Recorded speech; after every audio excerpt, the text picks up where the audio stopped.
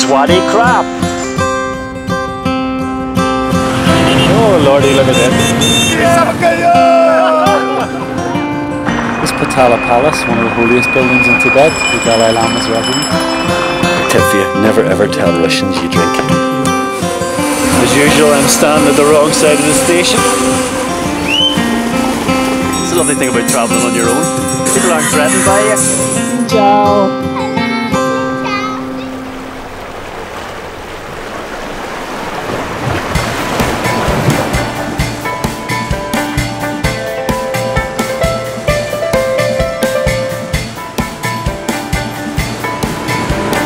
Welcome to Bangkok, home for a while until I make tracks for Cambodia.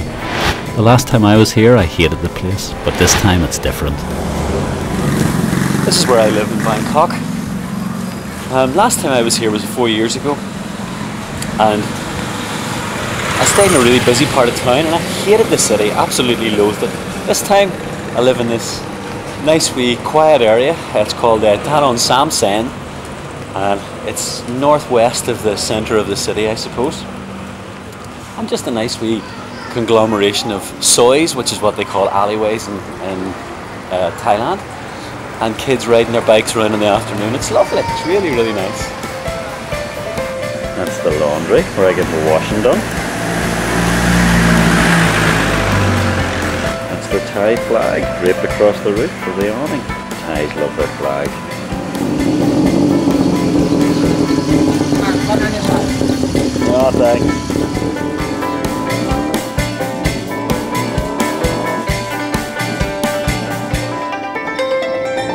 Sorry mate, another disappointed tuk-tuk driver.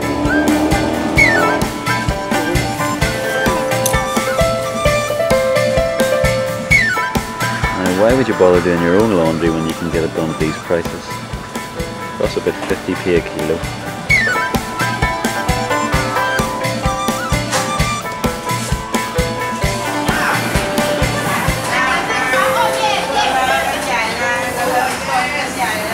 Love listening to this sing-song language.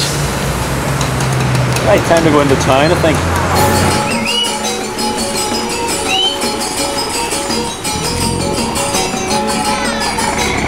All aboard.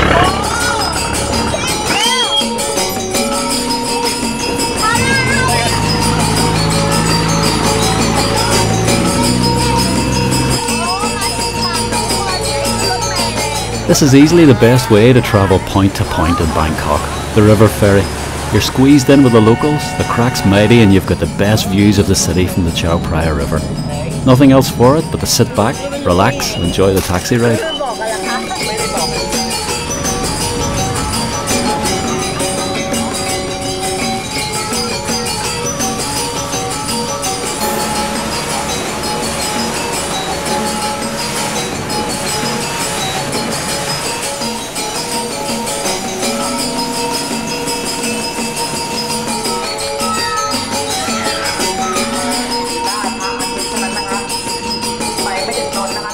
Kind of an example of what Asia's like. If you had boats like that in Belfast, you'd have to have loads of big guardrails around them and everybody would have to be insured up to the hilt. Here, you know, if you're clumsy enough to not be able to put one foot in front of the other and stupid enough to get on a boat and you hurt yourself, that's your own fault. So the people people that are stupid and clumsy don't get to spoil the fun for everybody else in Thailand. And the Thai people are that nimble anyway. That I honestly don't think they even need boats that wide. See them all skipping about. Great. You know, one of the things that frightens me about Southeast Asia is the pace of change here and the way in which places like Malaysia, Singapore, and Thailand are upping their game, particularly in the cities. Everywhere you see societies in transition from second to first world economies. In the 90s, these places suffered from crisis after crisis, but now they're on the turn. I get the distinct impression this part of the world will become the powerhouse of the planet in the next 10 to 20 years. Today, Bangkok's like one big building project. Within this ever changing landscape, though, there's one constant, and that's the Thai royal family. In particular, the King of Thailand, His Majesty Bhumibol Adulyadej. Thais really love their king. He's the longest serving monarch in the modern world, and he's done a lot of good here. He does a lot of good for the people. Uh, the Thais aren't too sure about the prince that's coming after him now. Not too sure that the royal family will enjoy such uh, popularity in a few years whenever the king goes. It was nice to see people just completely devoted to something. You see his photograph in taxis and tuk-tuks, absolutely everywhere. People get huge big photographs for their houses. Great stuff. Modern Thailand is at one with itself and its monarchy. It's a stable society where democracy holds sway most of the time. I'm about to travel north to the Thai, Myanmar or Burmese border. The bus to Mae Sot. We're going to have to be really quick here because it's going to run off in a minute. I want to meet up with some people living in the refugee camps outside Mae Sot. They're fleeing from the Burmese authorities. The Thai buses, you get air conditioning, lovely big seats, it's really clean. You can get a wee snack on the way. The in-bus entertainment leaves a lot to be desired, though it's, I don't know what you would describe this music as, but I prefer the music in the buses in South America. I sit back and relax for six or seven hours to Mae Sot.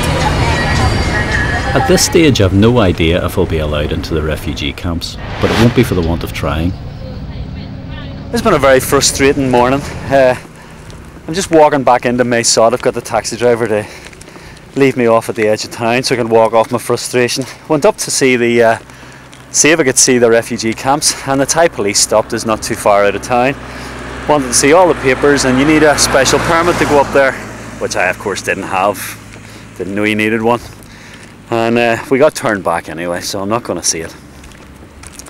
Uh, the reason why they're there is because they're ethnic minorities who have been fighting with the Burmese government in the hills around here. Uh, the Burmese government, in case you don't know, are a bunch of Nazis. They like to put their political opponents under house arrest or in prison or even kill them. They also like to employ six year old children to build railways and let them starve to death or die of thirst whilst they're doing so.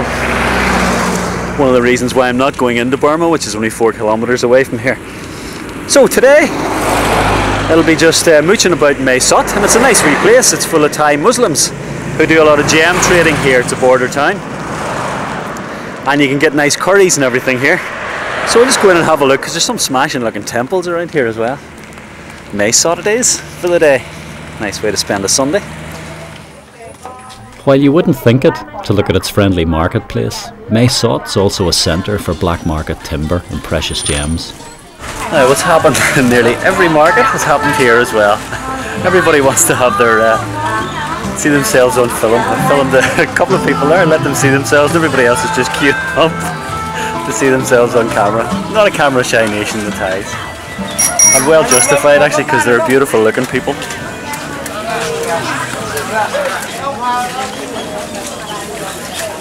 Birds as well. Turtles. Oh my god, you can buy turtles here. This is the pet shop by the way. Locusts.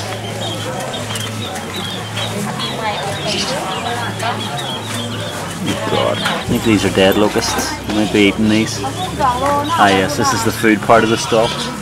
Yeah, that bit's the live bit of the stall. What are you looking at? Oh, frogs! frogs! He's got live frogs. I think they eat these here, by the way.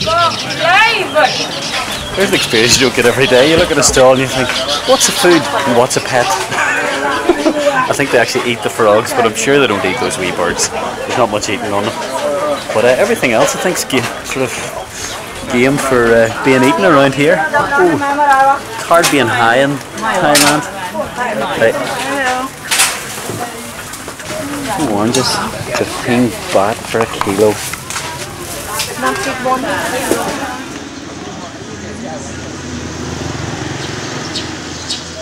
Well, the day didn't start too well. Couldn't get out to the refugee camps.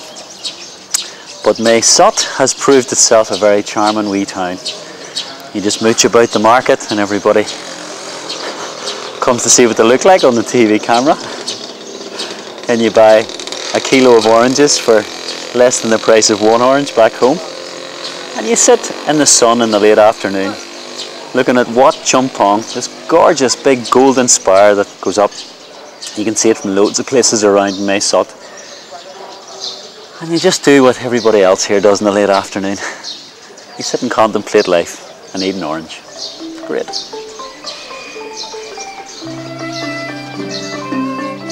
I'm afraid it's bye bye Thailand, hello Cambodia.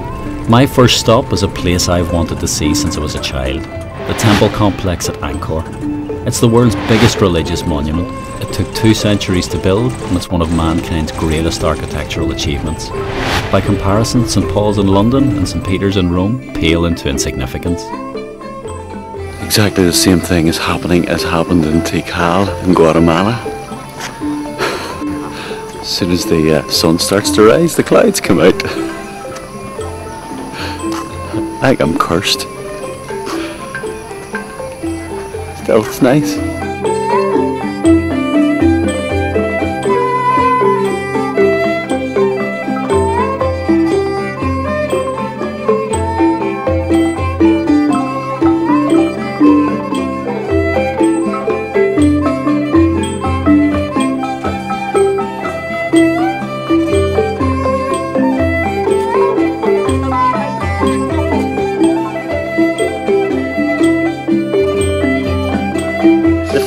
Started a restoration project here because nature, this is the jungle, was trying to take over all of the temples. So they took it all apart, stone by stone, numbered all of the stones, thinking that they'd get them all back together again.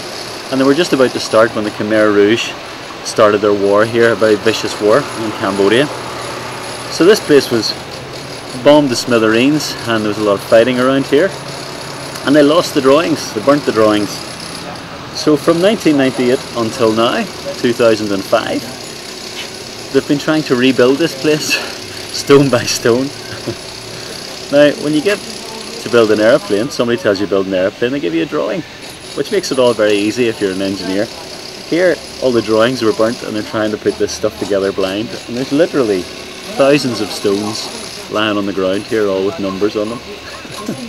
That's not a job I would want.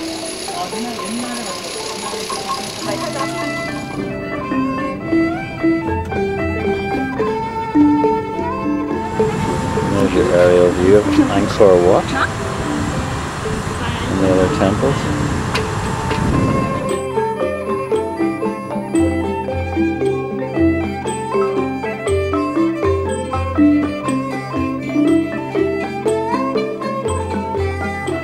This is what happens when men move out. The jungle moves in. The place is ruined now. They moved out six centuries ago. Big trees like this, they're just covering the uh, architecture. It's almost as impressive as the carvings themselves.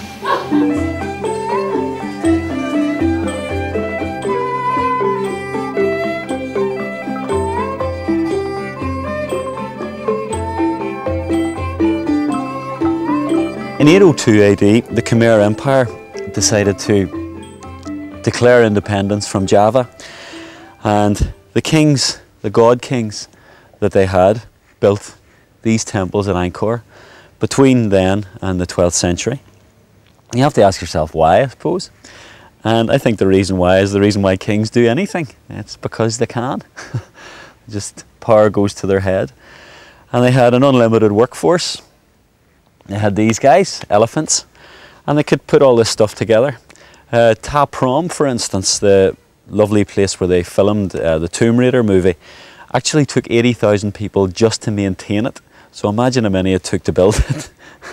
it's amazing to think that you know human beings can come on this planet and leave this much of a mark.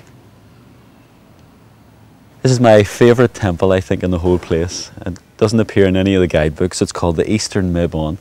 And I just love the fact that hardly anybody else comes here. And I've been sitting here for an hour by myself, and not another sinner has turned up. Great. Just need to find a bit of shade now.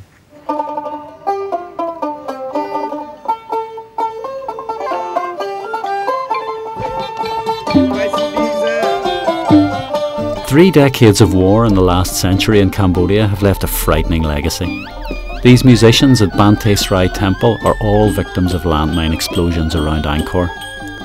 Warring factions planted millions of mines across this country. The worst offenders were the Khmer Rouge in the 1970s, led by their genocidal leader, Pol Pot. If these poor souls don't perform, they simply won't eat. Cambodia now has one of the highest rates of physical disability in the world, thanks to landmines supplied by the Russians, the Chinese, and the Americans. The money they made from their arms fest would feed this nation many, many times over.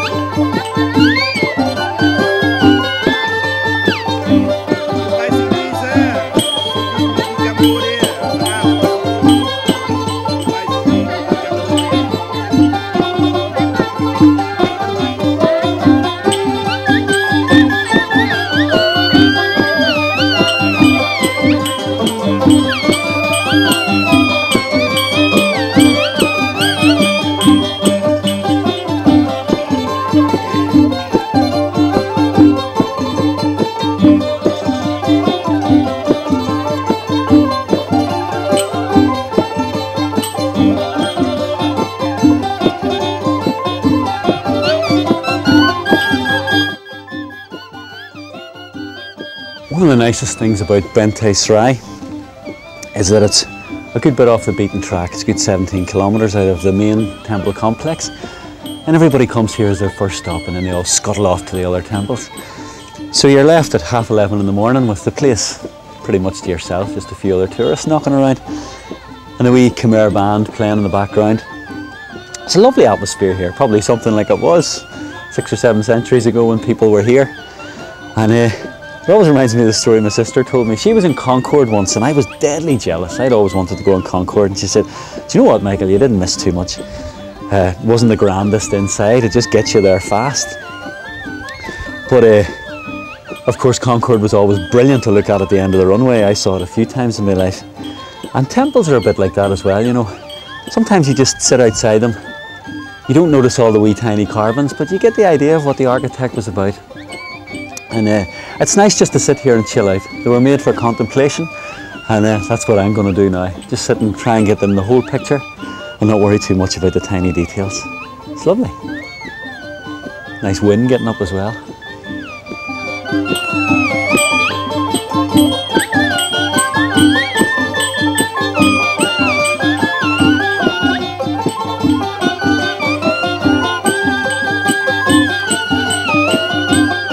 From Angkor, I'm headed for the town of Siem Reap.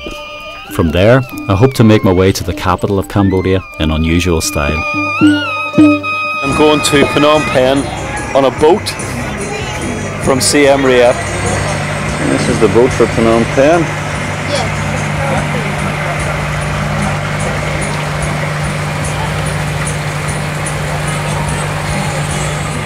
And this is what life's like in backpacker land. Everybody just roaring to get on the boat. I'm gonna have to get on this boat because I left my bag to keep my place up on the roof.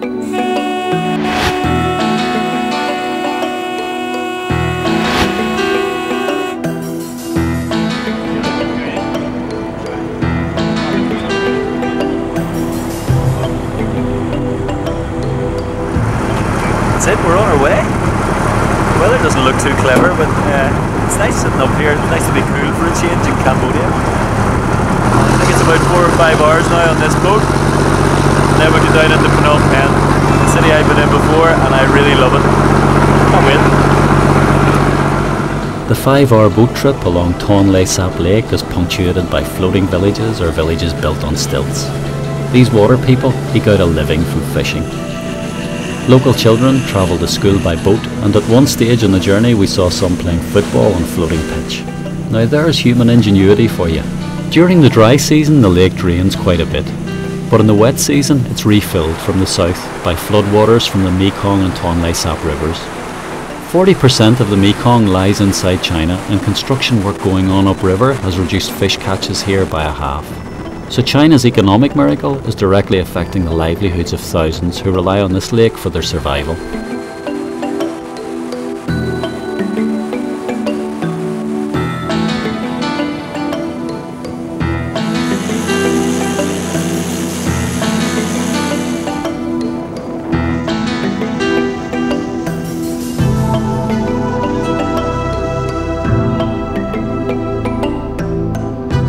Phnom Penh, Cambodia's capital. This is home to 2 million Cambodians squashed together where the Mekong River meets the Tonle Sap.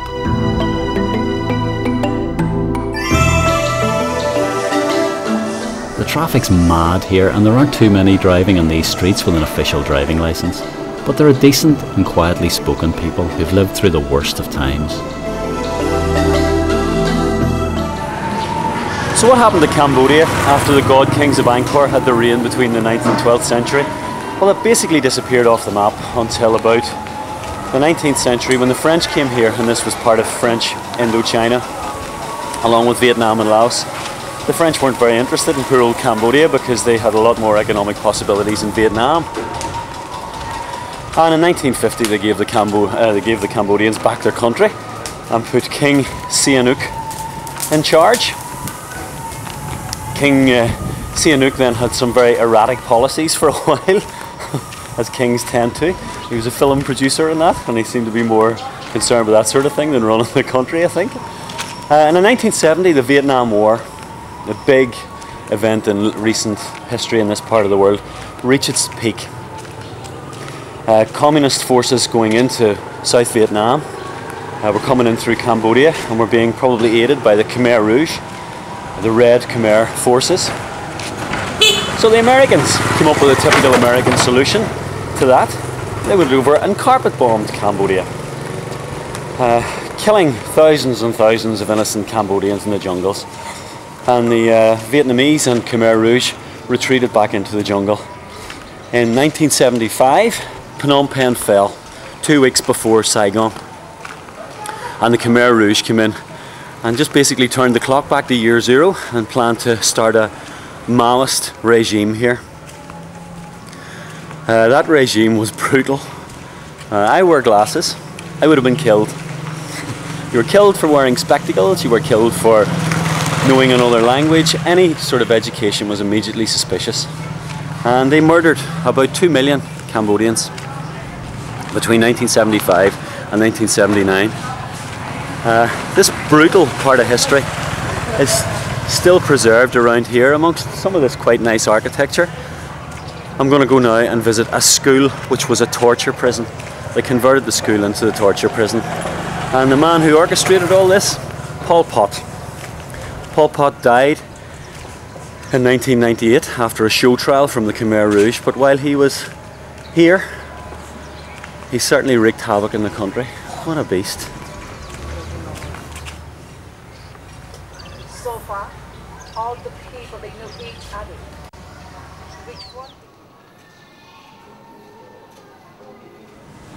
These are the instructions that had to be obeyed by the human beings imprisoned here at Tuol Sleng, or prison S21 as it was known by the Khmer Rouge. This is a grim memorial to the thousands who died here. Only seven people survived this place.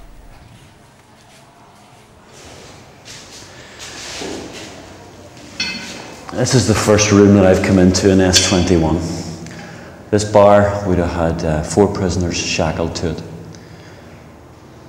This room probably would have contained between 30 and 50 prisoners, all waiting to be tortured. Uh, I've decided that I'm not going to get a guide on this particular tour because this is a very personal return for me to this place. And uh, I just don't want a guide talking facts and figures at me the whole time. Uh, what's in here speaks for itself without a whole load of facts and figures. Let me see this. This will really turn your stomach. This is where prisoners were kept. They built these makeshift cells, and you spent your time in one of them. You had to keep quiet very little food and you would be here for two, maximum four months. And after four months, you were killed, exterminated. Did I.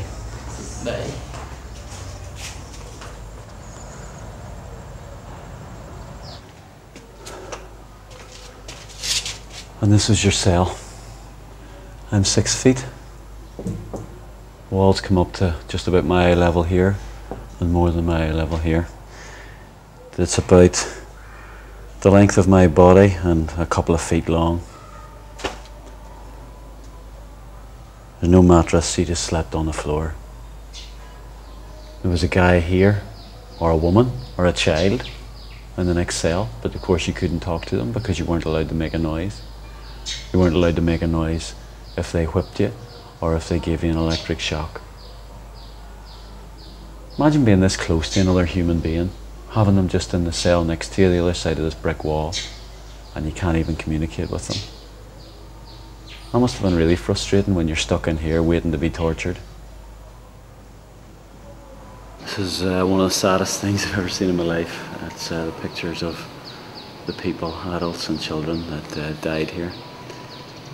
The Khmer Rouge took their photographs. Ten and a half thousand adults died in this one torture prison, and 2,000 children. If they arrested you, sometimes they arrested the whole family, even newborn babies, and took them away to get exterminated. So the Vietnamese came, released everybody, and the Khmer Rouge fled to the border of Thailand and um, Laos and lived in the jungles. And after that, 78, 79, and the confusion that was in the country, every Cambodian was on the move to the place where they were born to find out if the family were okay. So the crops wilted, nobody was there to look after the, uh, the farms, and there was a huge famine which killed another couple of hundred thousand. For Cambodia.